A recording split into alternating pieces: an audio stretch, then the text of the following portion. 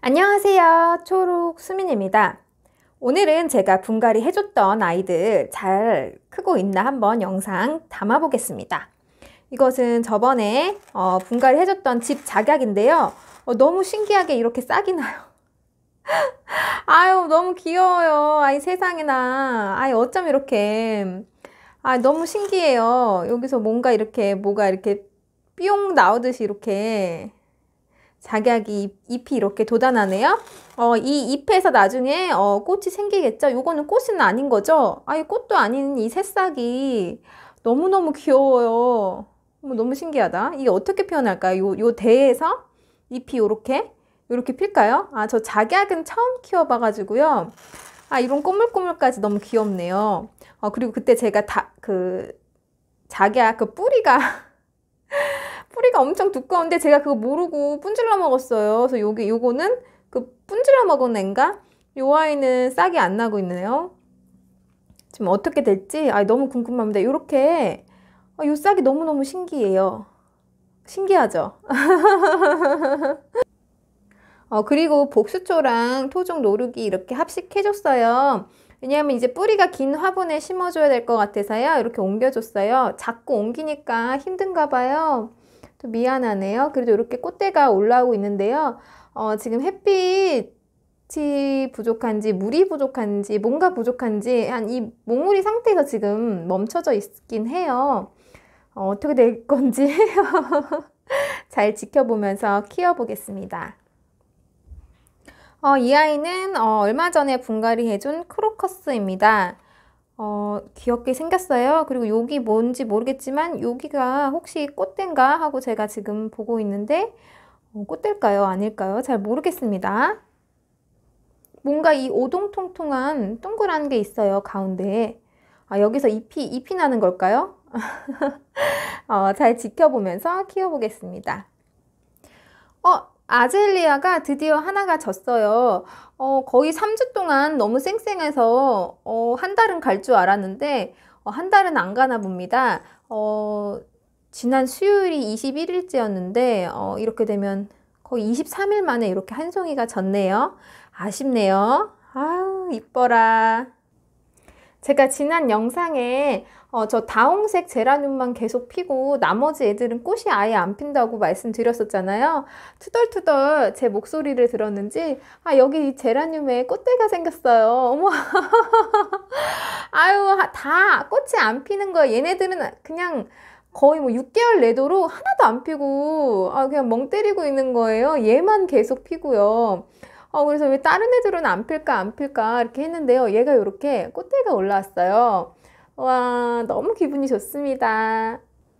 어, 그리고 사계국화인데요. 이제 신랑이 선물로 사줬는데, 이게 지금 사계국화가 다 얼어 죽고 요거 한 촉이 남았어요. 근데 이게 이렇게 웃자라네요.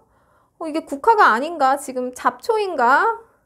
이게 사계 국화가 맞을까요? 그때 한 촉이 살아남아서 저는 이제 국화라고 생각해서 한 촉을 이렇게 살려서 이렇게 심어줬는데요. 웃자라서 그런지 국화가 아닌 것 같고 뭔가 잡초 풀인 것 같아가지고 지금 아, 지금 엄청 당황되고 있습니다. 이거 어떡하죠? 아니, 사계국화가 원래 이런가요? 이거 전혀 이상하게 생겼는데. 아니, 사계국화가 원래 전 요렇게, 요렇게 늘어지는 것만 봐서요. 어, 지금 집이라 웃자라서 그런지 지금 국화가 아닌 건지 지금 알쏭달쏭합니다. 어, 좀 더 키워봐야겠습니다. 어, 그리고 다른 집에선 지금 한창 꽃이 피기 시작한 보라쌀인데요. 아, 이거 어떻게 될지 모르겠어요, 보라쌀이. 아이, 저는 이 보라쌀이가 어렵네요. 아유, 또 잎이 또 이렇게 돼가지고, 아유, 보라쌀이야, 보라쌀이야. 아니, 잘 키워보고 싶은데, 아, 왜 또 잎이 누렇게 되는지 모르겠습니다. 어, 집안 환경에 따라 어, 키우기 쉽다 하시는 분도 있고 저처럼 초보라서 그런지 뭔가 어려운 것 같아요. 쉽다고 하시, 하는데 어, 저는 이 보라쌀이가 굉장히 어렵고 힘드네요. 이건 작년 가을에 제가 어, 킹 벤자민 어, 삽목한 건데요. 어, 다섯 개를 삽목했는데 요거 하나만 살아남았어요. 근데 이렇게 자꾸 새싹이 나면서 크고 있어서 어, 요 벤자민 너무 귀엽습니다.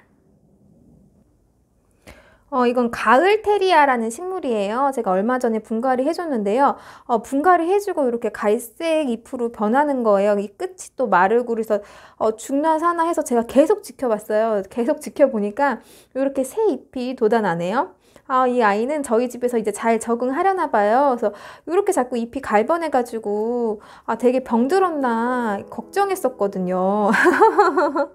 이거는 되게 모래에 심겨져 있더라고요.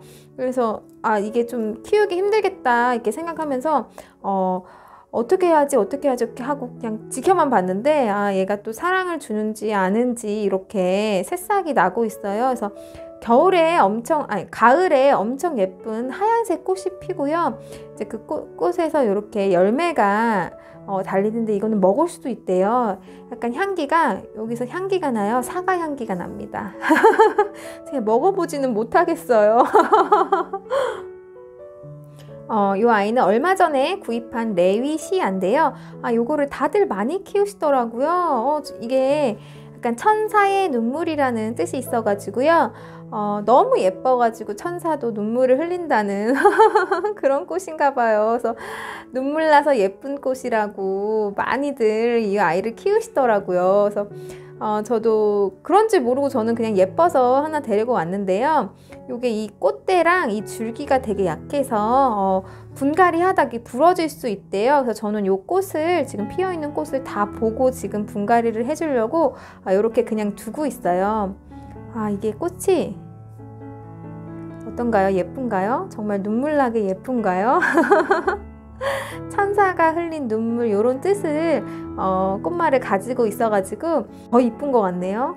너무 이뻐서 눈물이 나나요? 어, 이렇게 꽃 제가 어, 열심히 다 보고 나중에 어, 분갈이 하는 영상도 올려보도록 하겠습니다. 시청해주셔서 감사합니다. 모두 행복하세요.